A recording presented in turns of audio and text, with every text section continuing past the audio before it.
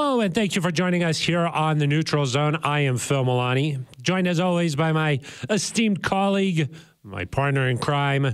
Really, the best way to describe this person is my everything. Is that Aric DiLalla? What's good, Phil? What's going on? What's happening? Yeah, uh, it feels like a long time since we've been in here. It does feel like many moons. The Thursday night game against the Colts, that was like last season or what? what it? it feels like a distant memory. Yeah. Well, we're, we're moving on though. We are. You know? there's no other choice. The Broncos are two and three, and now they're heading on the road. That can't be right. Yeah, that is right. Ooh, That's not good. no. They got to get it turned around. Okay, got it. Aric. Get it turned around. They're heading on the road, and they're facing the Los Angeles Chargers, another division opponent. They got lost in their name. Yeah, Los Angeles. Yeah, Los That's probably a good sign, right? Yeah. You would think that could be a good thing for the Broncos. Uh, we should also mention that joining us here in studio, the one and only Ben Swanson. If Aric's your everything, am I your nothing? No, you're also my everything. Wow.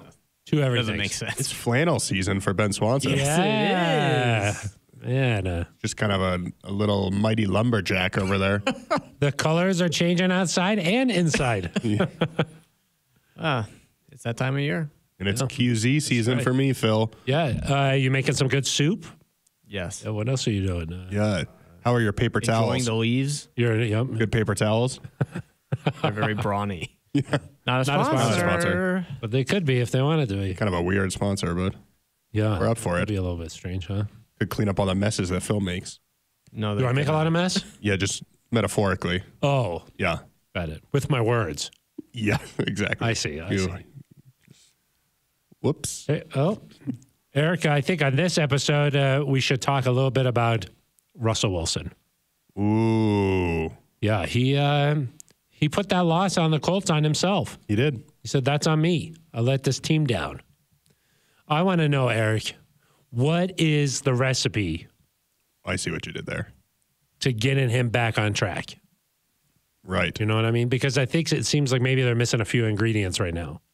Oh. Yeah, it didn't quite. You know, you put, we put it in the oven, and it didn't quite turn out the way we thought it was going to. Maybe we also chat about just how how worried you are in general about him specifically because against the Raiders he was he was good. He was good. And so is it uh, is it a blip? We we've been talking a lot about blips Yeah, lately. we, we talk about blips on here. I think that um, you don't, at this point, we've seen enough here where we don't have to go game by game necessarily. We could just say, what have we seen from him in general? right. So maybe we talk a little bit about just what's what's going on with Russell Wilson. Uh, how how easy is it going to be to get this thing turned around? And then, um, you know, obviously this is just a, a huge test coming up, uh, going up against. You know, this might be the best team the Broncos have faced this year. Mm, disagree, but You think the 49ers are better? yeah, I do. It's possible, but that Jimmy G team that they played, he was just like still working his way back in.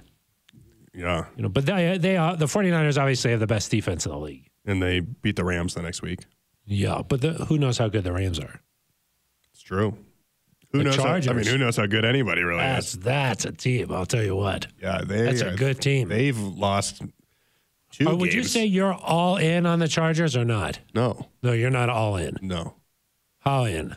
half. Half in. In. You're half in. They've been a disappointment. I think. really. Yeah. You're not all in. I mean, they've been beat up too by injuries. they have been. not really That's their sort of what the Chargers do. That's we saw the Broncos saw what the Chargers did, and they're like, we want to do some of that too. Exactly. They were trying. Yeah, I believe the Broncos are the number one team in payroll on IR. that's true. Yeah, Fact check. True. yeah. So they're trying to. The Broncos are trying to Charger. You don't want to. You don't want to do You that. don't want to do that. No. So we'll get into the matchup a little bit, but mostly talking about Russell Wilson uh, here on this episode. Uh, ben Swanson will offer in some thoughts. Sure, why If we're lucky. Yeah. Uh, Aric, before we dive into our uh, our football conversation here, tell people how they can get involved in the show because the neutral zone. This is a this is sort of a communal show, That's right. Anybody can listen. Equal opportunity. and also be a part of it. That's right. Phil, there's there's many ways. One of my favorite ways is that you can call in and you can leave a voicemail at 707 neutral. You don't have to talk to anybody. It just rings. There's two beeps. You leave a message. We might play it right here on the air. We like the two beeps. Two beeps. Yeah. Yeah, we call you two beeps, Milani. Yeah.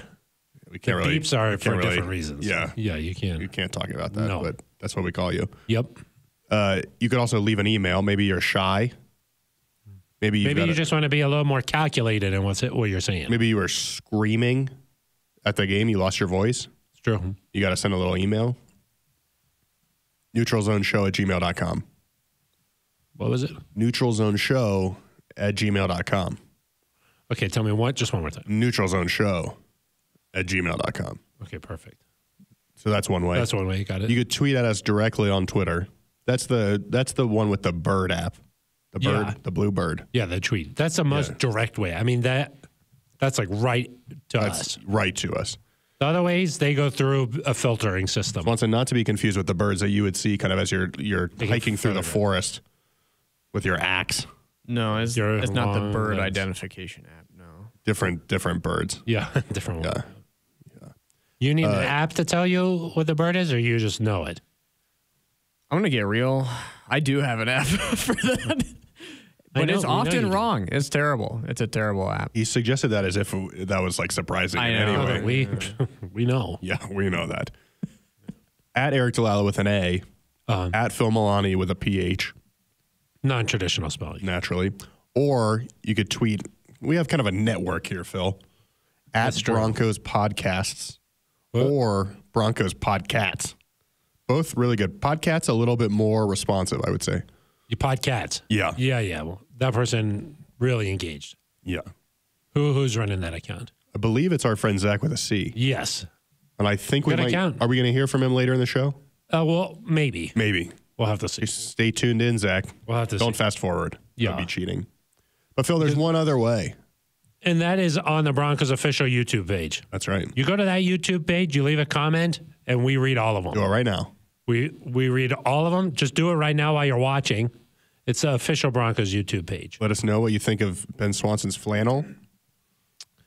Eric, you know, last week Some good comments. We put it out there and we said, hey, if you want us to change the intro, the, the when I say even Swanson was getting upset today when I was like, "You're my everything." Yep. Sometimes that upsets some people. You know what I mean? Who do they think they are? Uh, yeah, I am. I am. See, Ben Swanson got upset, and so I was like, "Okay, if you want us to change it, call in and leave a voicemail and let us know exactly how it's supposed to be." Correct. People, people were like, "No, keep it." Perfect. It's kind of confusing. Grant Ledbetter. Don't change the intro. People who have a problem with it are jealous that they aren't Phil's everything. And Good point. We saw that. We saw that already in today's Today. show. Yes, we did. Mario Lewis. I want to be Phil's everything. And then Melvin Sanchez says, I agree. I guess they weren't hugged enough as a child. and I think that that means the people who That are people upset. are mad. Yeah, Yeah. exactly. That's sad. You want every child to be hugged the appropriate amount. Melvin Sanchez also in a different comment says, Phil, asking the hardcore questions. I appreciate that. Keep up the great work, fellas. I do ask the hard questions. You do. Then you don't. I don't let you it don't, slide. You don't answer. You just put it out there, and then you let me take the, the heat. Yeah, I let you. We put it into the spin zone when Yeah. you start talking, and then I, then I put it back into neutral, neutral zone. Mm. Armando Vega, yes, new neutral zone. That's the kind of attitude. That's the kind of mentality that I appreciate. Right. Kendall Johnson, quarter zip season is coming up fast. RIP to our Kohl's cash. Got to get those new. Got to get those. good one. Yeah, You spend a lot of time there each week, yeah. Well, every afternoon. they're not a sponsor, but No, I, I just said there. I didn't. I didn't. they said the repeat Kohl's cash. name. Oh, there you go again. Well, yeah, but then you were you went back and referred to it. I was just saying quarter zip season is here. Yeah, It's chilly in the morning. it's brisk. Yeah. You know, if you're not prepared, this could be bad. Could be really bad. DB King Katsuki. Okay. Do y'all really read the comments? If you do, then let's ride from San Diego. Of course we do. What do you mean? Why would we ride from San Diego? We read the you ride from Denver. yeah, I think that um, he's saying he's from San Diego. BB King Katsuki is from San Diego. Got it. Maybe a former of course, a Charger. lot of maybe a Broncos former fans. Charger fan that changed allegiances. I was going to say there are a lot of Broncos fans in Southern California. true. I expect a lot of orange come Monday night. Ooh, A lot of orange. And then uh, Avathon just says in all caps, "Notice me, Phil." Noticed. noticed. You've been not. You've been noticed. That was all the comments. Yeah, that was all of them. Wow, Yeah, that's that's great. yeah. I thought there was a, comment somewhere about if we even were friends. Uh, may, well, see, I always go back to last Thursday's show, Yeah. and then I pull from that one. But of course, Aric, we also do a show on Monday nights. Yep. That is from Breckenridge Brewery's farm home of farmhouse. Farm home. Oh, it's a farm home. Okay. Uh, we're there every Monday from five thirty Mountain Time Yep. to about six fifteen. Yeah. We're also live on the YouTube page. Maybe there was a comment there about whether or not we're real. Yeah, somebody said that we were like, hold on a second, Aric. I can pull it up. This is good podcasting. Yeah. This Nice is work. some of the best podcasting. If you do want to go to the Breckenridge Brewery show, I would suggest getting there early. It tends to fill up. Seats, you don't, yeah, you can't just walk in there. No. Good thing my uh, my volume was down because I just clicked on the YouTube page. Uh, let's see here. Some people don't like the audio on that show, but no, that's this wasn't from this one. Hmm, Okay. Yeah, Whatever. Well, we are friends in real life. Of course. Yeah. Maybe that comment got deleted because they were like, "This that's is true. crazy." Yeah. Yeah, that could have been. Swanson. He's been uh, monitoring That's comments. not my role. No, Don't blame me. But uh, somebody did ask, "Hey, are you guys are you upset at each other? This thing's getting a little bit chippy." yeah. Maybe that was an email. It could have been. It could have been an email. We're not. This is just how we are. Right. Yeah. So, Should we get into it, Phil? Aric, with that, yeah, let's get into our first topic here, and that is what is the recipe to fix Russell Wilson?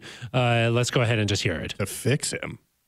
Well, maybe to just get him back on track. Yeah. I mean, this is a week to week league. It is. People like to react after each game, and it's it's understandable because you go a long time between each game. I think it's worth noting that one week ago, before the Colts, or what, four days before the Colts game, Russell had a really good game. He had a really good game in Seattle.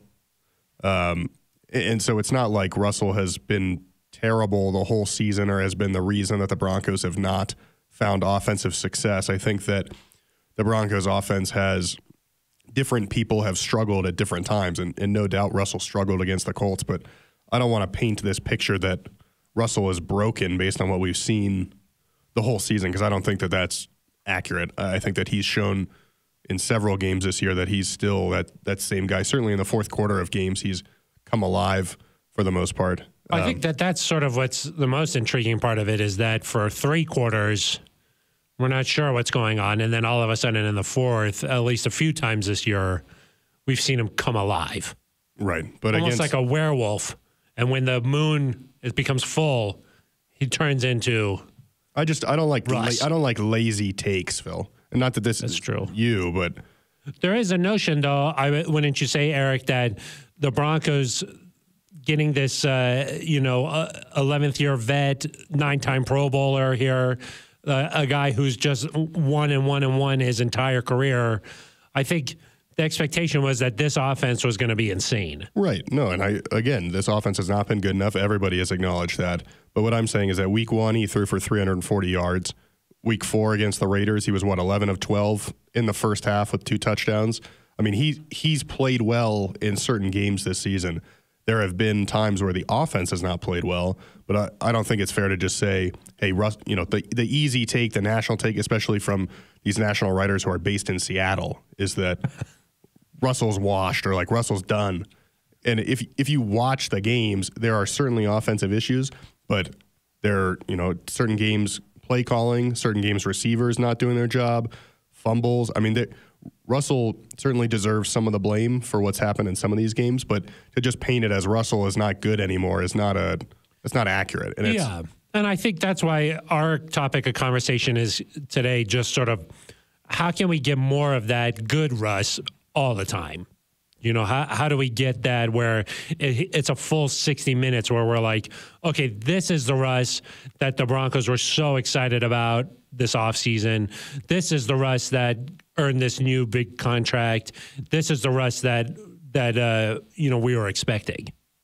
How, Yeah. how do we see that for 60 minutes? And what, what what I'm saying is that I think more often than not this year, you've seen what you want from Russell. It's the rest of the offense, the rest of everything that has not gone right. And so to I guess to see overarching, and uh, you know, people are always going to correlate points, offensive success with what the quarterback's doing. And so Russell could be having a great game, and if they're not scoring points, no one's going to be like, "Oh, Russell had a great game." It's just I understand that that's not how it works, but I think that to get the offense going, and, and listen, again, he had a bad game against the Colts. Players have bad games. He was dealing with a little bit of an injury, apparently. I would expect him to look to not look like that against the Chargers, but you've got to get some easy throws to get him in a rhythm, whether those are short passes, passes that give receivers a chance to catch and run, um, time your shots down the field. You've got to get the running game going. Uh, run more bootlegs, get him out of the pocket. Nathaniel Hackett's talked about simplifying things and really focusing on what it, what can they do really well and run those plays. So that's all important. But Phil Russ can play as as good as he can possibly play, and if the offensive line doesn't block and is called for holding calls, if receivers are dropping wide open passes, which we saw happen several times against the Colts, and that's kind of been a pervasive issue throughout the year. I believe the Broncos have the second most drops in the league. Or, you know, if from a running back perspective, you're losing the football, it doesn't matter what Russ does. And so it's, you know, it's easy to sit here and talk about Russ and he's the front facing guy and he puts a lot on his shoulders and gets the credit, gets the blame, but everybody has to be better there. Uh, no doubt that the whole team is. It, it just hasn't looked like a really smooth operation. Uh, and you know, you hear from Nathaniel Hackett, and he says these are growing pains. These are things that it, you got to work through. And then uh, one thing that he said, he even admitted he sounds like a broken record is, you know, they're just in third and long all the time. Yeah. And so to be able to sustain these drives, it's got to happen first down, second down. I think the one thing, though, Aric, from at least from a fan's perspective, it is the, the last several years, really ever since good Peyton Manning, the thought uh, certainly around the league is that this is a quarterback league. Yep. You know what I mean? And even we heard this week Ron Rivera, uh, the head coach of the Commanders, talking about, hey, you got to have the quarterback. This is a quarterback league. This is the other teams in the division, quarterback. Vic Fangio said that last year, you know, hey, quarterback. Uh, I- think the thought was, okay, the Broncos haven't had that guy, but the rest of the team, there was talent there. Then this offseason, they're like, we got to, if we want to compete, we got to get that quarterback. They went out and made the big trade for Russell Wilson, and everybody just sort of thought, okay, now we've got the quarterback, that equals success. And it, it just hasn't been that way. Uh, do you think that it's still just a quarterback league, Aric? Like, is it possible if Russell Wilson plays really well, that's all that matters because this is a quarterback league? I think if Russell plays well, you're going to be in every game. Doesn't mean you're going to win every game. I mean, and, and we've seen that. The games that Russell has played well, the Broncos have been in those games. And despite, you know, a fumble recovery for a touchdown against the Raiders, Russell played really well in that game, brought him right back. You stay in that game. You weren't able They to. were in every game this year. Yeah. I mean, they, it's not like Well, any of these have been really. but like the they were in the Colts game despite Russell's performance, just because I don't think the Colts They weren't are playing very good that particularly yeah correct um, but no yeah you're going to be in every game and that's what we talked about before the season is that as long as you have russell you're going to be in every game it doesn't mean that you just automatically win every game. And i think that you know and maybe we're guilty of this too when we were talking about russ before the season thinking that hey he's just going to magically fix a lot of things or um, things are just going to go from zero to 100 immediately. And you know maybe there's players on this team that were the same way that thought hey russ is going to show up we're instantly going to win 13 games. And i think that it's been a bit of a reality check for some guys about oh i still got to go work my butt off. I still got to get open. I still got to um, catch this pass when it comes to me i still got to block the guy in front of me i got to hold on to the football like those things are all critical too and again, if you have that quarterback, I think you're going to be in every game. And that's, you know, Washington, they're not in games. That's that's kind of the difference is that like and I know that people have pointed to offenses in recent years where the Broncos scored more points through the first five games, but I think without Russ, you could easily be looking at 0 and 5 or 1 and 4 right now. And so, you know, the quarterback keeps you in the game, but everybody else has to do their part to help you win it. And look, you look around the league, Aaron Rodgers and the Packers lost this past weekend.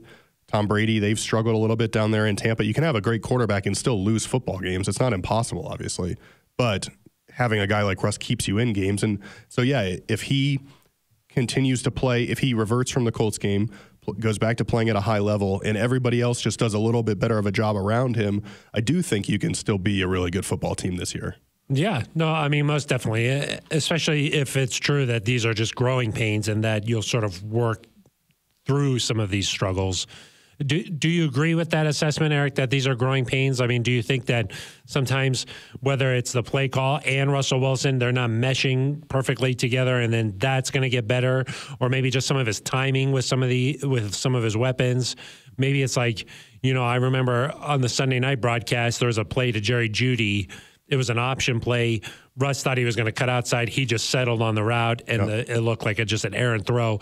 The plays like that Uh, are those things going to get worked out as time goes on here? I mean, I think so. I also think you know we talk about Russ cooking and the recipe and all those little like allusions to what to that theme, but there is no like step by step list of how you do this. And so there are going to be weeks where Russ is good and the wide receivers do not have a great game, or Russ doesn't play as well and the offensive line holds up, or the passing game is finally going and then the run game doesn't work, or the de- you know the offense gets things going and the defense can't get a stop. We saw that against the Raiders, and so we like to. I think fans and you know we do too. You like to view things as a linear progression and think, okay, you just fix this, things get better, but it doesn't necessarily work like that. And so, yeah, I do think there are in you know play calling, game management, all that thing, all those things. You fix one thing, you've still got to make sure that everything is is working together and. Um, the the the main thing, Phil, is that you've got to be able to win when you're not perfect. And the Broncos have won a few games, a couple of games this year when they haven't been perfect. I don't think they were perfect against the Texans, no, or 49ers. But you can't you can't lose games. You know, you, you got to be perfect enough to still win some comfortable football games. I mean, that would be nice. I don't think it's going to happen this week because this is a good Chargers team. But you'd like as the season goes on to have a, at least a couple games where you can just breathe a little bit. Yeah, I mean, I, I also think that like it's been such a struggle these first five weeks that like if they can just have a couple of games where things start to click and be like, okay, everybody's on the same page here and it's working well. There's some power and momentum there. Yep. I think that that would do wonders for this Broncos offense where you're just like, okay, this is what it's supposed to look like. This is how everybody could just feel a little bit better about it. If you just have one or two of those games where you could just start building on it, where you're like, all right, this is what we're talking about. Kind of uh, just that kind of power, I think, would do wonders for this team. And and listen, there are offenses that in this league that are just stagnant and they don't do anything. They they truly don't. They go three and out all the time. And I know we saw that against the 49ers, but that was a really good 49ers defense. The Broncos have, I think, the second most big. Pla- I, I don't think I know this. They have the second most big passing plays in the league. They're eighth in big plays. And so they find ways to get chunks, but as Nathaniel Hackett described it, they're feast or famine in terms of an offensive unit right now. You've got to find a way to capitalize on those big plays. When you get a throw down the field to, uh, I think Courtland Sutton caught a big one against the Colts. You got to find a or way to. Montrell, Washington? I think no, no. both. Oh yeah, both. Okay, yeah, that's right. You got to find a way to get points. Yeah, you know when when Caden Sterns picks off a pass and you're down there and you've got a short field, you got to find a way to get a touchdown. Yeah, and so the Broncos I think part of the frustrating thing is if you watch an offense that's just terrible and you know there's no hope. And, and Phil, I was thinking about this the other day. There's been times the last few years where we've sat here and we've talked about a team and we've gone into games or a stretch of games and you just know there's no chance, right? You might be able to upset a team here or upset a team there, but you know this team is not capable of winning 11 or 12 games. I think when you watch the Broncos, at least when I do, and, and I see the pieces, I'm like – man, part of the reason it's frustrating is because you can tell that if they can just get out of the mud, they have the chance to be good. They have the chance to win a lot of football games. They just can't get out of their own way. But I think that's part of why it's frustrating is because you have the quarterback, like you mentioned at the very beginning. You have some of these other talented offensive weapons, even though some guys are hurt now. But they just they can't find a way to get out of their way, and I think that's what makes it a little bit more difficult to watch because there is potential. If there was no hope, you'd be like, whatever. But, Yeah. But there's hope, and so you are like, let's figure it out. I, and I, I would say, okay, through five weeks here, the way to put Russ in the best position to succeed, I would say, are creating some of these easy plays, which I think they've tried to do, but maybe if they could just execute some of these where it's like, these are easy plays. These This guy should be open in the flat here. This should get us three, four yards. Then, you know, uh, having the offensive line block a little bit better where you're like, you don't feel like he's just under duress all the time. And especially now that there's been reports of him getting this injection in his shoulder. Uh, you know, uh, he's definitely been on the injury report. He talked about his shoulder after the game against the Colts. Uh, Clearly, that thing's not 100%. Blo- blocking for him, allowing him to not feel that pain in his shoulder, maybe get him out of the pocket a little bit, but not necessarily taking shots outside the pocket, but just moving things around, just catering this offense to what he likes to do, uh, and then just building on these plays. Maybe some hurry up, maybe just get into a line of scrimmage a little bit early, just get in the flow of the game, allowing him to just stay on the field, you know, and just get not just these chunk plays like you mentioned there, but also just like some easy plays where, he, okay, you just had like a 12 play drive and you're feeling good about the rhythm of the game. I think just that's sort of the recipe to me is just having some longer drives where everybody feels like they're involved in the offense. You're getting some easy plays and you're just feeling better about things where it's not like, okay, we're backed up, we're within our own five yard line here. Uh, the first down run, it's not good, it's not there. Second down, maybe take a shot, it's not there. Third and 10, oh, now we're punting. You know, that's been all too often what we've seen. Just let's make things a little bit easier. Let's try to execute what's easy and then move down the field. I mean, obviously that's easy to just say that, and Yeah. obvious, and they've been trying to do the, some of these things, but like, let's just make that a priority where you're like, okay, this is the goal for this game, because so many times this year where I was like, well, what was the game plan against these guys? What what were they really trying to do here? Sometimes it, it just gets so muddled, I guess like like you they don't really i mean we've talked about this a lot too but like there's no identity necessarily. Let's just say okay this is a game plan and let's go execute this this specific task. I think that could be helpful for them. You kind of look skeptical. Yeah, I mean, you're like, I'm sure there is a game plan. I know, but it, you you would never know what it is. It's like, okay, like, are we trying to attack them in this area? Are we trying to attack them here? Like, where? Like, what? What is uh, vulnerable for the defense? And we're really going after that. You wouldn't necessarily know that just based off the way they've played these first five games. What did you say? Uh, no, I think there's a different between difference between like intent and what the result is. Like I think they're the the What's the intent? Do you think? to run the football and establish some sort of presence on the ground, which they've tried to do in all these games, and then off of that, take shots down the field. You think they've really tried to establish the running game early in a lot of these games, Yeah. and it just hasn't worked, or what's the problem? Yeah, I mean, if you look at like the Raiders game, for example, the Niners game, they've averaged two or three yards a carry. And so Yeah. it's hard when you're then going three and out and you're putting your defense back on the field to to stick with that. But I think that that is the that's what and Nathaniel Hackett said it said it many times. That's the foundation of this offense is you have to be able to run the football. And so, what I guess what's the key to getting them to be able to run it? Like, you can't just be like, "We want to run it," and then and then just not be good at that. You know, like how, like okay, if the foundation of the offense is to run the ball, they need to be good at that. Yeah. You know, and I guess that hasn't necessarily been the case. And obviously now with Javonte out, you know, like how are they going to be all of a sudden a really good running team? They got to figure out how to have better execution, whether they mess with the the lineup on the offensive line, which they've said they're going to look at, whether it's having, you know, the, another way that you help the run game is connect on more of those shots down the field when you take them so that linebackers have to back up, more play action, have the safeties back up so you can't stack the box. I mean, that helps the run game too. But I mean, like, I, I think what you're talking about, easy plays and, and 12 play drives, that's the result. That's not like, uh, Yeah, of course. That's what I want to see.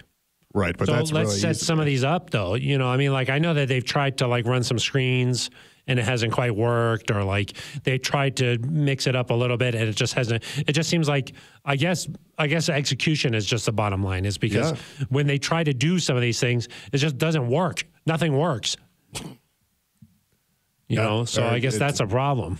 It is a problem. They got to figure out a way to have better execution because I, you know, they are running screens. They are running quick passes at times. They have run hurry up. They have taken shots down the field. They've tried a lot of different things. You're right. It just it hasn't worked, and they're still trying to figure out, I guess, how to have more consistency in the execution. And I look at it. I think the Colts game, for example, I think Nathaniel Hackett called a, a good game. Yeah, no, I agree. I thought he called a great game. But if if you're giving up sacks, if you're having holding penalties, if you're dropping passes, you know, if you're not able to get more than a couple yards per carry, I mean, it doesn't matter what you call. You got to you're not finding the open man, the the player, yeah, the the players at some point have to go do it, and so, you know, How does Nathaniel Hackett balance that? Because obviously he can't be like they just got to play better.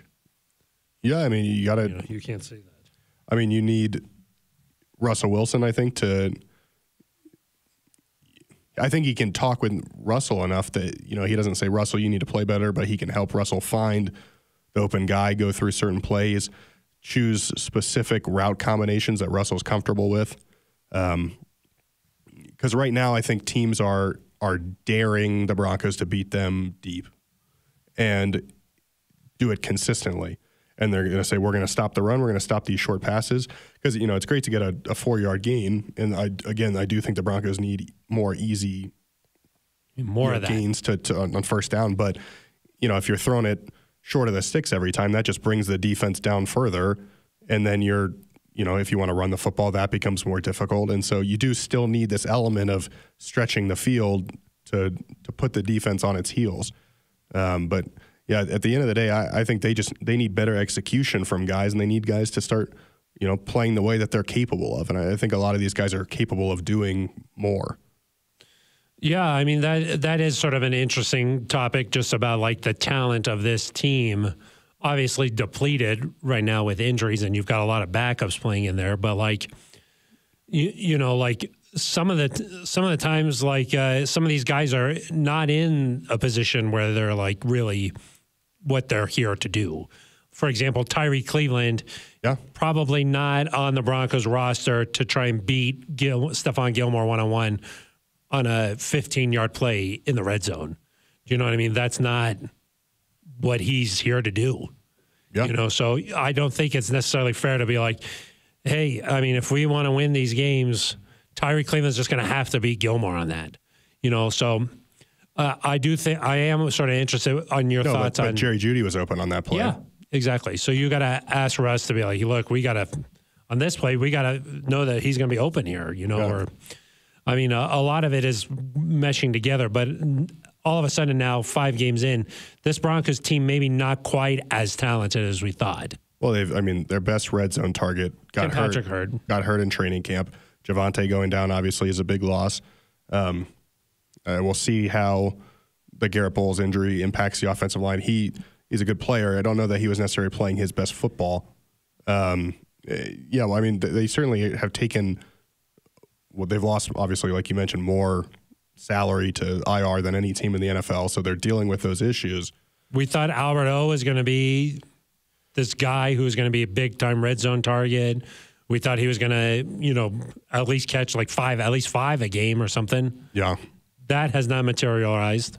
Right, and well, and he's had a couple of drops here in situations where it'd be easy first downs. So I think that's part of it too. Is these guys have to realize the receiving corps in particular is They have to have Russ's trust. you have to have Russ's trust, and if he's throwing the ball against the Raiders, I think he threw the ball twenty five times, something like that. If he's throwing the ball twenty five times and he comes to you once, and you drop the football, he would never say, "I'm not coming back to you," but in a big moment, he's going to say, "I'm going to Courtland Sutton." And so I think you saw that on the fourth and one at the end of the game. Hey, I need somebody to make a big play here. He knows generally that if he goes to Courtland Sutton, Courtland's going to catch the football. And so I think he's willing to try to force a throw in there to Courtland to make a big play because he knows he can trust Courtland Sutton. And so, Yeah. but I but I don't know that I agree that there's no, you know. I think there's an intended identity for this offense and what they want to do. It hasn't worked out, but that doesn't. I don't think that that means that like they don't know what they're doing in there. I, I think there is. I know Have they gone away from it too fast, or you think that hey, at some point you got to be like, look, this isn't working, we got to adjust? I actually think they've stayed with it in a lot of these football games, and that's why you've seen them struggle. And then in the fourth quarter, then I think they kind of go f- away from it, and sometimes they've had success, sometimes not. Uh, but they've got to they've got to find a way to, to. I don't think you can play an entire season and just be like, Russ, run around and make plays Yeah. especially if he's dealing with a beat up shoulder. You got to be able to run the football. You got to be able to get easy plays. You got to be able to throw off play action. You got to be able to operate within the pocket. You don't have to do it every time, but those things are important to do. And Can this team do that? yeah, I think so. I think that they just need to. Again, it, I, I this come this ten week. You know, if 10 they, day. t- yeah, geez, ten week. That'd be a really long time. It'd be nice. this 10 day gap here, if the guys used it correctly, I think it's really valuable to just reset because when you get in that game to game week, that game to game flow, it's, it's going hard fast. to, it goes fast. It's hard to, I think, evaluate what you're doing well, what you're not, really remove yourself from it. I think everyone gets a chance to just step back and say, okay, wh- what really works? What doesn't work? What's not working, but we can we can make it work. Some self scouting. Yeah, and then just and have a chance to just breathe for a second and say, okay, we're not 0 and 5. We're 2 and 3. We have to be better. We have to start winning football games. But we've done some good things. We just we have to find a way to do it more consistently. And I still do think, Phil, that Russell Wilson, when he's at his best, is a quarterback that can just go take over games, puts fear into a, a defensive coordinator. I know the Chargers this week are trying to figure out how do we slow down Russ. And so to have that, which I don't think the Broncos have had for a long time, is still an advantage. And it's it's something that I think if if you can just get out of your own way again, it feels like and we've said close again and again, so you want to see it, you don't want to keep talking about it, but it, it feels like they have all this potential that Russ can help unlock. And if they can just get out of their own way, then boom, they can take off. And that's, you know, you just hope they can find a way to do that soon. Eric, let's move on to that's sort of a natural transition here onto like maybe a second topic for this show, and that's just talking about this game, where the Broncos are in their season here. Because if if you do a reset of this team, they're two and three right now, heading into a divisional matchup against the Los Angeles Chargers. The Chargers are three and two coming into this game does this feel like a little bit of a tipping point for what the season could eventually become like? Because with a win, you're tied with the Chargers. You're both at three and three. Uh, maybe an opportunity to go on a little bit of a, a run, maybe before the bye week or something. On the other hand, if you lose this one, now you're at two and four. You've lost two division games. The Chargers are four and two, and all of a sudden, the idea of one winning the West or two getting a wild card spot seems to be drifting away a little bit. Yeah, I mean, I, I don't want to say that any game in week, what is it, week six is like a must win football game because you've seen teams come back from, uh, not often, but you've seen teams find a way to make late season surges. And obviously it becomes more difficult based on the Broncos' schedule to do that. But is it a tipping point? I don't know if I'm like quite ready to say that because I think if you get to the bye at four and four, I think that you're still alive in terms of what you want to do. There's so many teams that are jumbled up there in the playoff race, and the Chiefs and the Bills are really the only teams that have created any sort of any sort of separation um, in the AFC. So if you get to the bye at four and four, which could include a loss to the Chargers this week, obviously, I still think you're you're alive because you know it's possible that nine wins gets you in in the AFC the way that things are going. But that said, when you look at the AFC playoff picture and you see teams like, you know, the Browns, the Bengals, the Ravens, you figure one of those teams is probably going to take a a wild card spot. I don't know if the South gets one or not, but like maybe maybe Miami and Indianapolis, one of those teams takes another one. I I think as you just look around, it becomes evident in my mind, at least, that maybe the Chargers or the Bron- one of those teams is going to make the playoffs. Probably not both. And so, if you're the Broncos, you have to find a way as the season goes on to finish above the Chargers. And so, obviously, a head-to-head win helps you there. You already have a loss to the Colts, who are in that playoff race. You have a loss to the Raiders, who are one and four right now, but it doesn't it doesn't help your AFC record. And so the Broncos do have to start winning some of these AFC games against teams that are in that same mix. And over the next couple of weeks, Phil, with the Chargers, the Jets, and the Jaguars, who are all right now kind of in that same mix, you have a chance to earn a couple of wins that help you out in that race. So I'm not ready to. I think this would go a long way because to get to, again, you mentioned momentum and getting things going. If you win this weekend, I do think you can still get to the bye at, at five and three and, and have and feel good about yourself going into that off week before the final stretch of the season. But I'm, I'm also, I think as long as you can get to the bye at four and four, you don't feel great because you you probably feel like you have a couple missed opportunities, but you, you still are within range or like within that striking distance that Russ mentioned. So that's just how I view it. Yeah, I mean, I think it's okay to just be like, this is a crucial game. I, I, I agree. I don't know if you want to use the term must must win here, but I do think that like if we remove ourselves from this season and just talk about things that we've discussed on this show in previous years, you know, one thing we always say is, hey, you got to have that leadership and the tough mindedness to not lose three games in a row in the season. Yeah. You know, and good teams don't lose three games in a row, you know, and you've got to be able to bounce back. And, you know, we've talked about these things over and over. You know, I think that if you lose a game like this, all of a sudden it's starting to feel a lot like these previous years, you know, where you're like, gosh, they've, talent, but it's not coming together, and it's three losses in a row, and it's another division loss. I mean, let's just face it here: the Broncos have a couple of wins against the Chargers over the last couple of years, but for the most part, against the division, it has not been pretty for this team, and they got to get that turned around. A win this week, I think, would go a long way in just confidence and just feeling like, okay, we beat a good team, we went on the road, you know uh, we we got we rallied together. We believe in each other, and look, here's the result. Because there's only so much that talking and leadership can do. Where if if at the end of the day you're doing everything that's being asked of you, and it's not leading to results, over time it's just a natural for, for any human to just be like, this isn't working, you know, and you and in your mind you start to fade you know? And so to avoid that, I think a, a win this week would just be huge in terms of confidence, in terms of just knowing, okay, the Chargers heading into the season were supposed to be one of the best teams in the NFL, and we just went into their house and we beat them. We can do this. I just think that the Broncos are at that point in this season where the, they need that. Yeah, I mean, I think it just.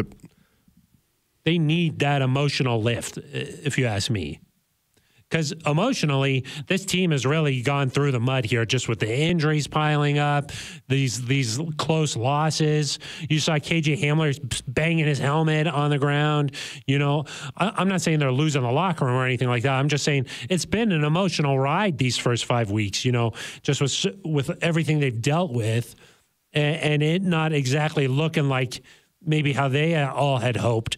Because I think if you put yourself on this Broncos offense as a player you're certainly thinking, okay, gosh, we haven't had that quarterback. Now we're now we do. We're going to take off here. So to avoid that disappointment, the and that feel and the negativity, a win this week would go a long way. Yeah, I mean, obviously it's better to win than lose, but I, I think it's also more about like what do you look like this weekend?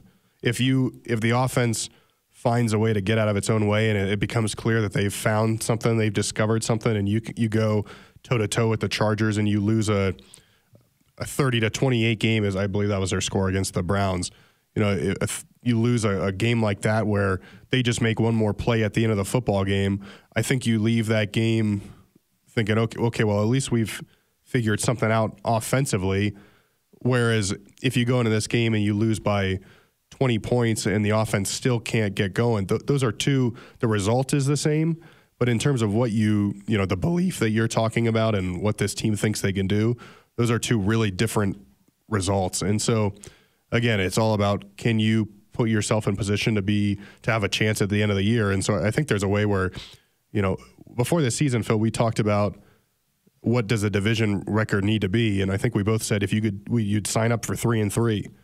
I believe what we both said. Yeah, initially we said that. Yeah. Yeah, and so, and certainly when I went through the schedule, I I pointed to all three uh, division road games as games that were going to be really difficult to win and probably result in loss. I'm not saying they're going to lose this weekend at all. Like they have a chance to win here, and Yeah. the You just Chargers don't want to put too much the on it. Chargers are beat up. I, I just don't think that this is a game where, you know, like like I think if you won this, it would be a, a bonus. This isn't one where before the year I thought you got to have this one, but you do now. You know, after losing to uh, the Colts, dropping one in Seattle, you, you're right. You do need to. You do need to find a way to steal one at some point. I just think if you can get to the bye at four and four, regroup, you know, Obviously, Yeah. five and three is ideal. You don't want to lose another football game ever. But I just, I don't know that I'm willing to like put a ton of pressure on this game and be like, oh man, we have to. Now, what they have to do is they have to start figuring it out on offense. If again, if they go out and they score ten points, then I think you're like, what is going on here? What, what was it that George Paton said this offseason where, you know, they were like, hey, you won this uh, award for the best draft class and you you did all these great things. And, you know, he was getting a lot of praise this offseason. And one of the things he liked to say was, what was the Broncos record last year? It's Seven and seven ten. and 10. He was like, thanks. But at the end of the day, I'm a seven and 10 GM. Uh huh. That's something that he c- continually brought. He said that a couple of times this offseason. Uh-huh. I think if the Broncos lose this game, and Nathaniel Hackett was asked this this week, hey, do you think that you guys are better than your record is? And he said yes.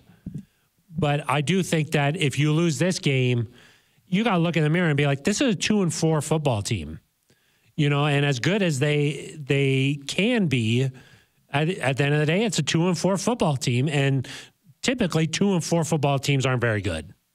You know, so like I do think that, and, and George Paton certainly views it that way. His, his he's a, a tough person. You know what I mean? Like mentally, he's just he keeps things real. And so I think that yes, you can be like, hey, we're better than this, or you know, maybe we can get to a bye at this, or but like at the end of the day, you'd be two and four uh, versus three and three. I mean, those are drastically different in my mind. I mean, three and three seems way different than two and four. Yeah, it's one whole game. No, I'm just saying it feels way different. Do you agree or no? It's one game. I mean, it's like the. You can look at it just like that. I think that one of the reasons you bring Russell in here to begin with is that he's not. If you're two and four, he's not going to let you waver. And Of so, course, yeah. I, you know, if if the Broncos fall to two and four, and again, I think they got a really good chance of winning this football game because Yeah. of where the Chargers are in their own season. But if you fall to two and four, that doesn't uh, change my opinion of the Broncos' ability to go out and win the next two football games and get back to four and four. I think that's Yeah. part of the. Whereas I think some of the quarterbacks that have been here in the past.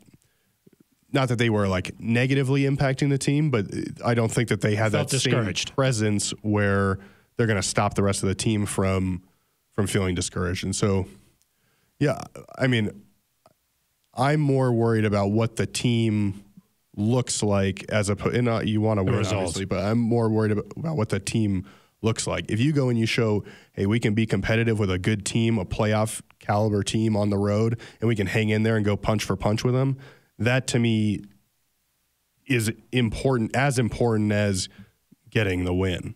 Uh, Obviously, the win would help and it would be great, and you feel great after that game. So what if they what if they beat the Chargers like 13-11, 13 to 12? Like it's a really low scoring game. Uh, the offense doesn't quite look right, but they got the win.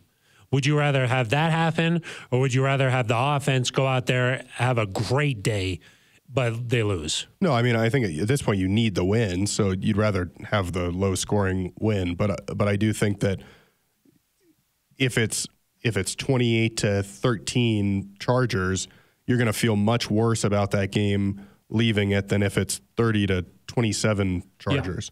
And so I think there's a way that you can say. Because again, Nathaniel Hackett said a lot. that We're trying to get ready for December. We're trying to get ready for the, the postseason, and so obviously you got to get you got to win enough games to get there. But if you come out of this game being like, we finally figured things out, I think you feel confident about, hey, let's let's win a home game against the Jets.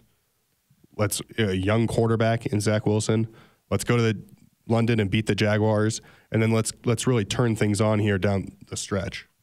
I I will say, unlike many teams around the NFL, this Broncos team feels like these two statements could be true. This team has struggled to start, but they have the ability to really go on a run and they could really make some noise late in the season if they kind of get this all figured out. Like that can be true. And at the same time, you could also be like, gosh, this team isn't quite as good as I thought they were. Stumbled out of the gates, had some rough period here, and the rest of the season doesn't feel great.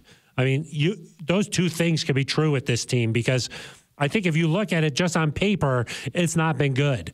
But I think because we cover the team every day, we've seen things in practice. We saw them all through training camp.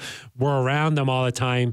We both feel like, okay, they're going to get this thing turned around eventually. You know, it's not often that quarterbacks on a Hall of Fame trajectory all of a sudden in year 11 just drop off a cliff. Like that just doesn't happen. So like there's a there's a strong belief that look, it's been hard. We've heard all of the reasons, you know, new head coach, young coaching staff, new city, new weapons, all this stuff. Uh, there's this belief, and I think we both believe it, that eventually they'll get this thing turned around. But at the same time, if you just look at what's Uh, what you've seen in the games and what's happened on paper, and you remove the fact that we're around this team every single day, it hasn't been good so far. You know, it just hasn't been good. I mean, they're they've lost to some teams that they should have beaten. Right. It, I mean, if the I- offensive production hasn't been good.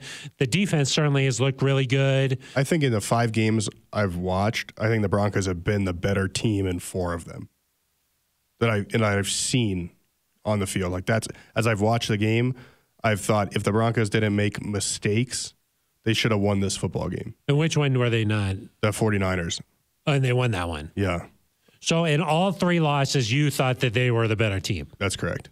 Certainly in Seattle, I don't think there's any I mean in my mind there's no doubt that the Broncos were the better football team in that game. They absolutely shut down the Seahawks in the second half.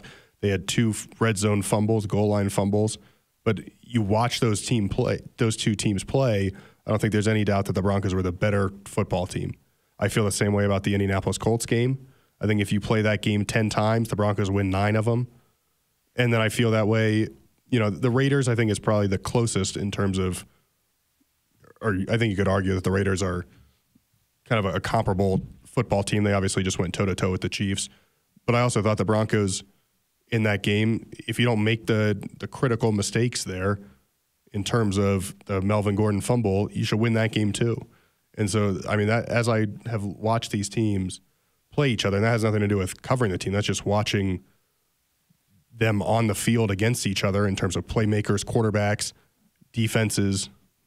but they don't score points. I mean, I mean they don't. They just haven't been able to score the football. Yeah, You know, so That's part of the critical mistakes is when you have these red zone opportunities. But again, there's a there's a difference between never getting the football to the red zone and not being able to execute on your chances. If you but were better teams don't make those some of these mistakes. You know, like if you're the better team, you don't make the mistakes. You know, the mistakes are not just one offs; they're reoccurring. yeah, You know, that's the growing has the brought that. growing pains that he's talking about. Yeah. But I I just I and we can disagree there, but I believe that I agree. I, sort of agree with you. It's just that at some point, I think that uh, I I guard against this too, where I'm like, look, I'm just around this team a lot, where so I tend to understand that I feel that they're gonna get it turned around and that that eventually the talent will win out.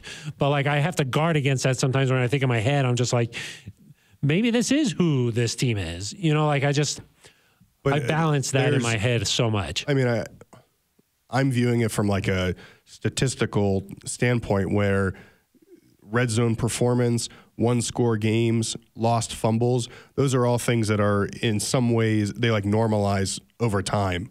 And so the Broncos have forced a bunch of fumbles, I think nine, 10.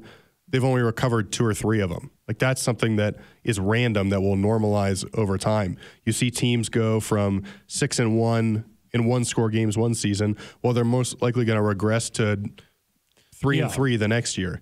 Everything sort of tends to bend toward the Red zone performance is the same way, where it's supposed to be, if you look at all this data, it's reflective of how teams move the ball. And so if you look at the Broncos' big plays, their ability to have four red zone trips against the Colts, obviously you have to execute and you have to call the right plays and you still have to do it.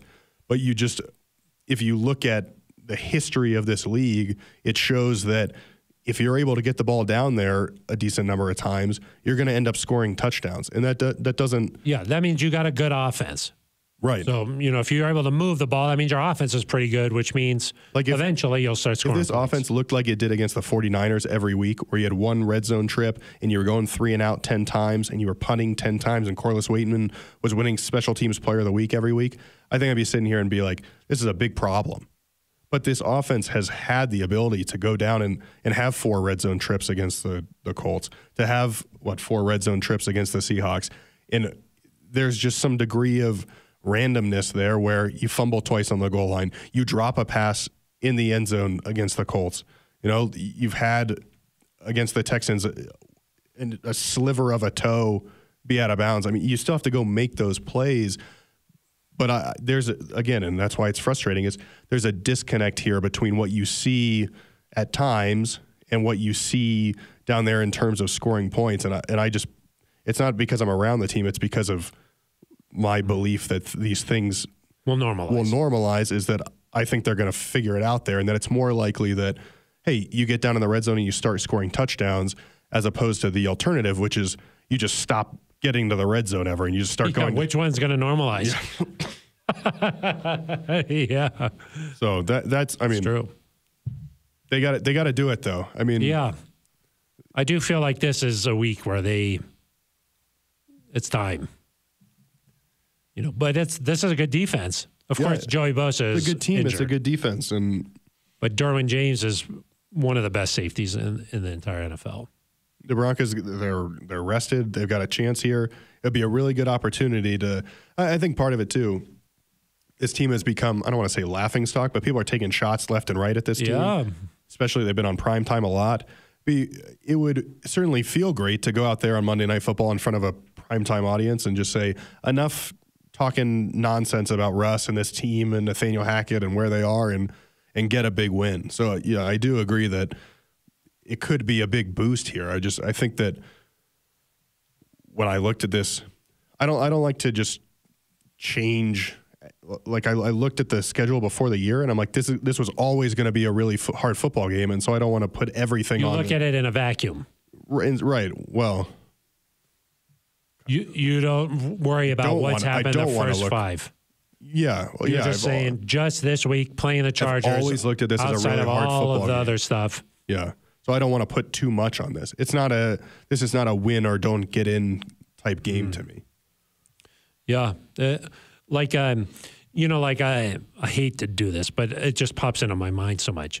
Like Peyton Manning, right? So many people like always were like he can't play in the cold, like he can't have good games in the cold, and then he would just go out there and have like a huge game. Sort of, I don't know if I can say this, but it's it was like an fu game. I think you can say that. fu, that's what he did, and he just kind of went out there and did those things Yeah. that builds the belief. Do you know what I mean? Where where like then other guys on the team are like, no, he he could do anything. And so in order to just build some of that belief, I think that he I mean, like Russ- Russ, if he went out there and just killed the Chargers, everybody on this team would just be like, He kind That's of this guy. kind of did that against the Raiders, right? Especially in the first half. yeah, he was looking really good. People spent all the time after the Niners game being like, "This offense is terrible," and then he went out and went 11 of 12 for two touchdowns. Yeah. And then in the second half, they didn't Not so call much. well. They didn't call a lot of passing plays for him on the in the third quarter. Obviously, you have the fumble with Melvin.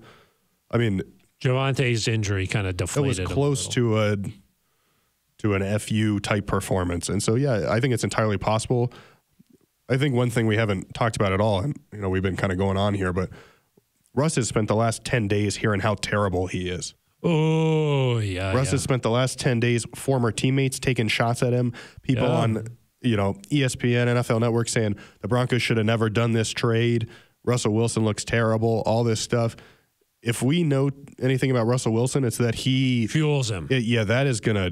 He's probably just maybe like a Thanos situation where like the power is gathering in the rings. Got it. Is that how that works, Swanson? Um, Yeah, Swanson. Isn't the rings like you have to collect the rings? Yeah, he's collecting that gives you the, the power. power. He's collecting the the power. Wow. Yeah, I don't. And so again, I, I think there's a chance that Russ, Russ is just seething about the last 10 days. We know he, you, you t- and take away all that, he probably just doesn't like that the last time he played football, he didn't play very well. And so I do think there's a, ch- a really good chance that he goes out Monday night and just kind of silences a bunch of people. and he was really real at the at the podium. Yeah. Really real. Really, really. Be, Really, really, really real. real. Like he was like this. I this is on me. He and he's like I've I faced adversity before. Uh, I mean he that was I think a real moment for him. So I agree with you, sort of Aric, that he when winners lose, they don't like that. No, because Winners winners win. win. So They don't want to lose. You know, talking about the Thanos, Aric, I, I'm sort of curious. Did you see that um, th- this new generation doesn't like the thumbs up emoji? Oh, I didn't see. Did you see that? I Did saw you see somebody, that, Swanson? I saw somebody I- tweeted I this. saw it was like a moment on Twitter or something. I saw somebody Yeah. just tweeted the thumbs up emoji, and then everyone was like, "Oh snap!" But I didn't really know what it was about. Yeah, like uh, a survey or something said that they don't. People now they don't you, like an easy way to tell that someone's old. They use the thumbs up emoji. Right. I'm You just use curi- that? curious if you use it or not. I don't. Um. I don't. I've never. I don't even know if I've ever sent a thumbs up emoji. I'll thumbs up a text message. Yeah, Like with I don't know if that's the same thing. I don't know if that's the same thing or not. Yeah, what about a heart emoji? Do you I do that a lot. I. I. Um, crying face or no? I'm big on. Yeah, I'll do that. They don't like that Maybe either. the, they don't. no, What about a sideways crying face, like the tilted one? maybe they like that one. Yeah, may there there was like ten emojis that they were like, you cannot use these if you're cool. The reaction feature uh, on an iPhone, not a sponsor. Um, it's revolutionized people's lives, I think, because it's a great way where someone sends you a message and you're like, I don't Nice. really want to respond to this. Yeah, but you're just like, yeah, got it. Yeah, you just hit a thumbs up, boom, conversation over. it's beautiful. Or like someone sends you a text, you're like, I don't really know how to react to that. You're just like, oh, let me heart that, boom, Heart done. Yeah, it, it acknowledges like, look, I've read I've this. seen this. Yeah, I, I've, uh, it didn't ignite something in me where I need to re- respond but boom, with another message. yeah. But I'll just let you know that I saw it. I have fr- I have friends, Phil, that never use those uh, reactions, oh, really? and they've told me, "Oh, you use that way more than anybody I text." I'm like, No, "That's because I it's like very it. very effective." yeah, I like it. We have we use it all the time. Swanson, have you pulled up the emoji list here? Yeah, this is from something from actually 2021, so I don't know why this is. No, there was a new. I thought it was a new thing. Yeah, the new thing is based on just something someone saw on Reddit, which is Oh. interesting. Uh, Reddit, not a sponsor. You go down a big oh, Reddit saw, Wormhole. so it has to be true. yeah. And what what were the what were some of the emojis they don't Uh, like? this is from the 2021, which was a poll of uh, 2016 to 29 year olds. Number one emoji that makes you look old, thumbs up. Got it. Number two, red heart. Yeah. Number three, the okay hand. Number four, just check mark. Number five, the smiling poo emoji. Number six, loudly crying face. Number seven, monkey eye cover. My Eight. mom uses that one a lot. Oh. there you go. Number eight, clapping hands. Number nine, kiss mark. Number 10, grimacing face. That's what I'm saying. Do you do you think that when Russ I use the crying laughing, but that's it. when Maybe I he- sh- maybe I should say LMAO more. what if like Russ is That's what texting I with do. Montrell Washington? Yeah. Do you think there's like emoji conflicts going on in there or no? Mm, I don't know. K Jack is like, yo, Kaden, like you want to grab an ice cream after work or something? Uh huh. And then do you think Kaden hits him with a thumbs up because he's like, oh, maybe K Jack would understand this? Oh, that's a good question. Do you know? It could be a future KJack TV idea. Yeah. What are your favorite emojis? It sort of tells you a lot about a person. They the players like to use the uh, sideways crying laughing emoji. I think. On social media? Yeah. Yeah. That maybe they're old. Some of them are. Some Yeah. of them aren't. Aric, should we play a voicemail today? Yeah. What if we what if we just play one from Zach? What do you think, Swanson? What do you There was one from I- Zach, and then there's one from a new caller, right? I'm not sure if we what do you think what do you think we should do, Aric? You think we should I don't. I haven't listened to these, so Let's start out with the one uh, this is from Zach with a C. Oi, it's Zach with a C. Man, um, I, I'm just gonna let y'all take take that. Uh, I'm let y'all take the analysis of that one and what's coming up next for the team.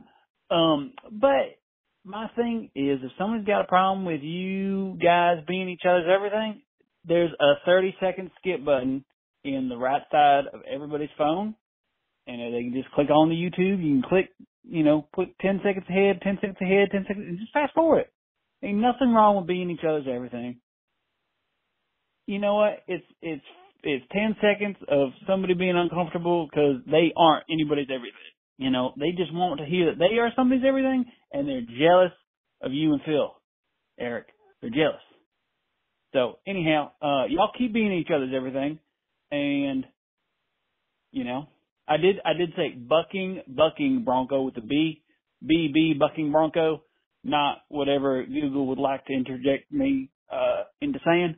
I was misquoted uh, by the Google. Anyhow, we're gonna keep on rolling, the country. We're gonna keep on rolling. Roll country, nay.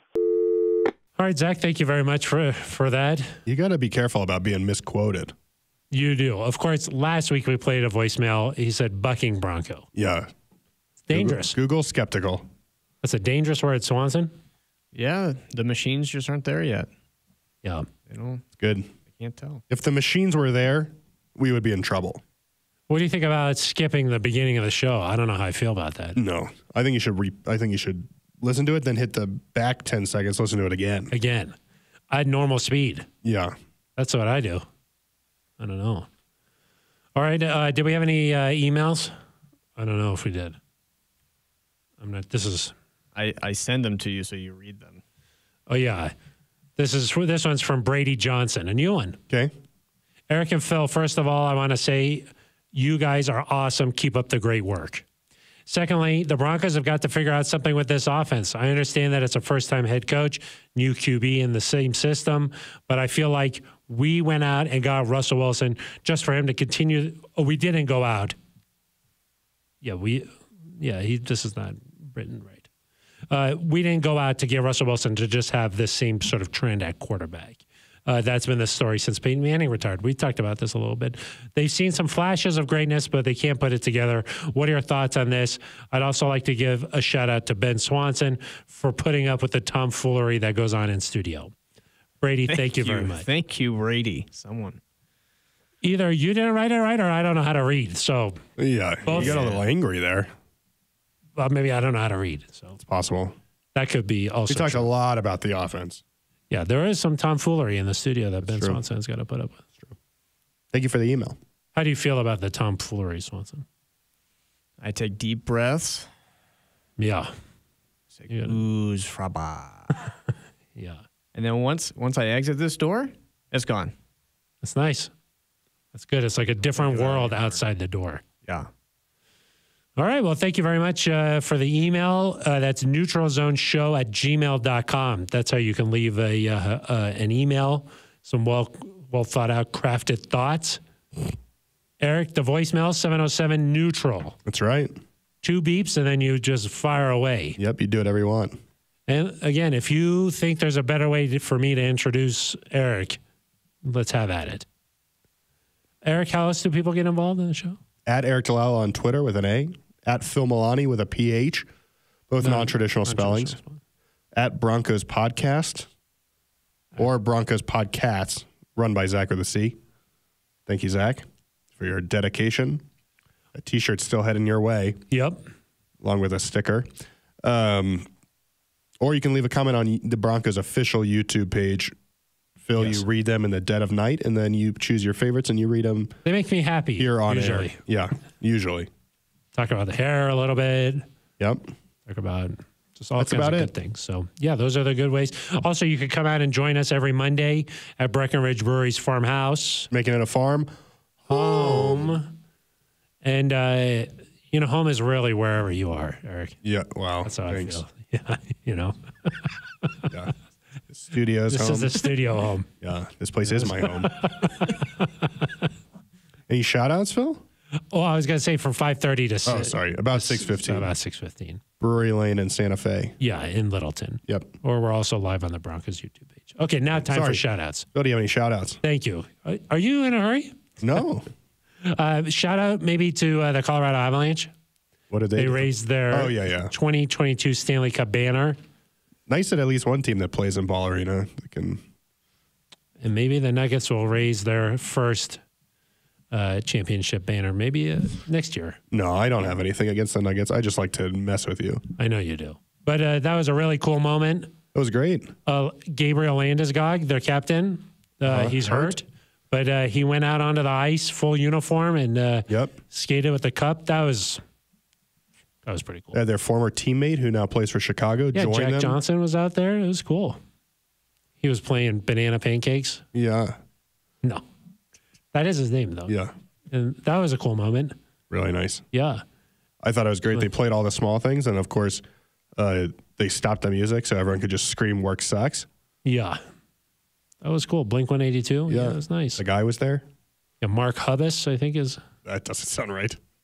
I, Hop, Hubbis. Hoppus. Uh, That's what I just said. Nice. You said Hubbis. Hubbus. Hubbis. Yeah. Mark The Hoppus. dip. Hoppus. Hummus. Yeah. That's his name, right, Swanson? Mark Hoppus. Hoppus. Not That's what I I think I said Hoppus. They just reunited, right? Fact check. No. Yeah, I think they've got a new album coming out. All the big Oh, they're things. back together. Yeah, I think they're going on tour. That's pretty cool. So Of- shout of out the- to the Colorado Shout out to the Avalanche. Yeah. Of course, Liz Gerald's Yeah. Uh, doing some work in the community. Um, I like to. I like to give. a Miles sh- for Miles. yeah. You're just, we're just. Shout out to Miles. Shout out to Miles for Miles. so many miles. Swanson, you were at one of those, right? I was. It was me and Bradley Chubb and Baron Browning, Will Sherman. And what were they doing? Just So, what position does Will Sherman play? And how many miles was it? Uh, they walked one mile. Uh, Will Sherman. Mile, mile Uh, for tackle. miles. You should know because he went to see you, and that's a of shame. course. I did I say I didn't know? Kinda I never did. uh, I never said that. Yeah. Lies. also, Christopher Allen was there. Don't want to forget him. That's true. You know Christopher Allen. Of course. Yeah. I was going to Christopher Allen, he went to Alabama, right? nailed it. See? Yep. I didn't have to look up anything. I was going to give a shout out to uh, Reed, who of Oh, course yeah, of helps course. us out here in the podcast the scenes, studio yeah, every course. week. He uh, he's the reason this whole thing happened. So if you like it, you can thank him, Yes. and if you don't like it, you can blame him. The- you mean with- the production of it? Correct. I think we can all agree that the audio sounds really nice in here. Really nice. But Reed sits Yeah. here and he listens to this every week. Yes, he does. We uh, I don't think we've given him a shout out before, so I thought that would be nice. That is very nice of you. I'm a considerate guy, Phil. Yes. He's probably like, it's time to wrap up the show. That's true. I got things to go do. Yeah, Oh. any literally anything could be better. Yeah. So maybe we should do it. Okay. Oh, should we shout out the new long snapper? Yeah, Phil, hit me with their names. What's the name? Swanson. No, Swanson doesn't even know. I know. I mean, uh, first of all, Nathaniel Hackett said that uh, Jacob Bobenmoyer Yeah. goes by Bob. yep. It was like it was a shame to get, see Bob go down. Uh huh. I thought that was funny. And then, of course, We've uh, known this for a while. Yeah, that's not new. That's- I know that, but for Bob, you knew his name was Bob. yes. Yeah. I didn't know that. It's common. Maybe the fans didn't know that, so I'm enlightening them. Okay. What are the? There's actually two long snappers. Swanson, fact check. That's true. Phil, hit But me they, with. Hit they me brought with one. what? No, they- Isn't there one on the active roster now? no. They're I'm both on on the active practice roster. Remember, like, remember, like 20 minutes ago, when you were like, "I, cover know. this team every day. I'm like around Yeah, it yeah. too much," Yeah. and then you're like, "There's, the there's long no, snapper, you know, it's Yeah. just that's one of those positions that Yeah, there's no long snapper on the active roster. should not have brought this up. Yeah, Terrible idea. Well, okay, what are the names, Swanson? Have you f- cracked the code? it's Fraboni and Fortunato, the law offices. yeah, Mitchell Fraboni. You probably remember him from playing for the uh, so what are the, these Pittsburgh Maulers. These two are on the practice squad. yeah, they're both on the practice squad. Uh, the other guy's Joe Fortunato. Yeah, So what was the first name? he's a celebrity chef.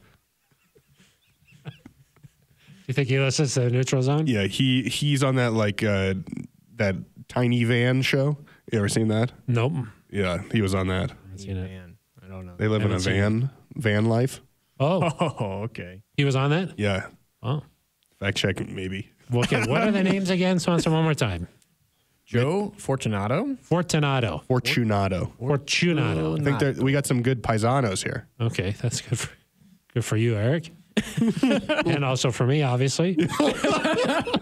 Of course. Mitchell Fraboni. Fraboni. Forboni. Doesn't it sound like? Doesn't it sound like? Fortunato and Have Forboni. you been in an accident? Call the law offices of Fraboni and Fortunato. Some can say that they're just an attorney. I can say I'm a doctor and an attorney yeah, and a long snapper. yeah. Call the strong arm of Fortunato and Fraboni. The long snapping duo that It does sound like a you your like a law firm. It, is, it does. Yeah, that's it great. does. Um, so for those who are confused, which I think might count you, Phil, the Broncos have definitely two. does. They have two long snappers on their practice squad. They will then elevate one of them just for the game. Who do you think has the who has a nod? who has the, who's a step ahead right now? I'm gonna go with uh, Fraboni. I think, Frab- you gotta- I think he's got a massive edge here. Got it. Because I mean, you cover the team every day, Yeah. so I'm He's just one assuming- practice ahead. Yeah, exactly. He was at practice on Tuesday, and Fortunato was not Why is he- that? because they hadn't signed him yet. Makes you think. It does. You got your stopwatch at practice or no? Yeah, he did his snap. It only took 17 seconds. Wow, that's not good. Yeah. Who do you think has the ultimate say here? Maybe like Corliss? Oh, McManus, Oh, yeah. I like uh, Dwayne Yeah, but McManus is handling the Because snap. Corliss Or, uh, is not- catching the Corliss snap for the kicks, and then he's also catching the punts. Yeah. So it's like sort of a Corliss situation. Yeah. Yeah, but McManus is demonstrative at times. What does that mean, Aric? Do you not know what the word No, means? I'm saying, what do you? What does that mean about McManus? You think that he? well, he's a like- he's a veteran on this team. he is the captain of the. He's a captain of the special teams. Um, when there was a bad snap against the Raiders, he kind of threw his arms up. Ooh, So he he might want a ball snapped. as- Maybe he wants it snapped a certain way for field goals. I don't know. are there a lot of different ways? I think that I think that that really uh, that sums it up as I don't know You think you think about any of this. you think Bob's gonna have a big hand and Bob, yeah, his coaching him replacement. along? I think he did hurt his hand. Yeah. So it's probably, if he's got a cast or something, it probably is a big hand right now. Yeah. Uh, you feel bad for Bob. So you you're more of a Fortunato guy. Yeah, because fortune is on his side. Oh, got it. Sort of believe in that kind of thing. Yeah. And you're- Fortunato f- favors the bold. I, hey, I made that joke off off show. Oh, I You're didn't hear stealing that. my joke. If you're not on the record, it Doesn't really really, doesn't yeah. count. Yeah, maybe you toss. Fortunato, and what's the other one? Maybe you toss missile. Mitch, Fraboni. Maybe yeah, maybe you toss him a Fraboni and just see if he can do it. All right, now we're finally. It's the end of the show, but we're finally getting started. yeah. You know, we need this kind Time of for energy, hour right? Yeah, yeah. I think we're already into hour two. All right. Well, uh, we'll be out at Breckenridge Brewery's farm uh, home on Tuesday this week. Yeah, Kind of confusing situation because Monday Night Football. because of Monday Night Football. So we'll be there on Tuesday. Yep. We'll be breaking down this game. Can't wait. We'll be talking about how they carried Russ off on his shoulders. How Fraboni did the game-winning shoulders. snap. I mean, you heard Justin Tucker last week say it was the Game-winning hold. first game-winning hold of his career. Never heard about that before. Yeah, maybe his first game-winning snap of uh, Mitchell Fraboni or Joe Fortunato. Yeah. Maybe one In of the the, NFL. That's true. Could have done it. What was that at the Uh, USFL. Rough Riders? No. Where did they go to college? Maulers? Pittsburgh Maulers. Uh, Fraboni went to Arizona State, I believe. and Oh, wow. Fortunato went to Delaware. Joe, Joe from Flacco's. Delaware. Wow, maybe he has the edge. elite? Okay, I I got to get to practice so I can watch the long snappers. Okay. All right. Well, uh, then it's time to say uh, goodbye. Uh, thank you very much to Reed for making this all possible, and uh, also to Ben Swanson for Oh, thank you. for Doing something. fact checking and all that. That's going to do it for us. For Aric DiLalla, I am Phil Milani. You've been listening to The, The neutral Neutral zone.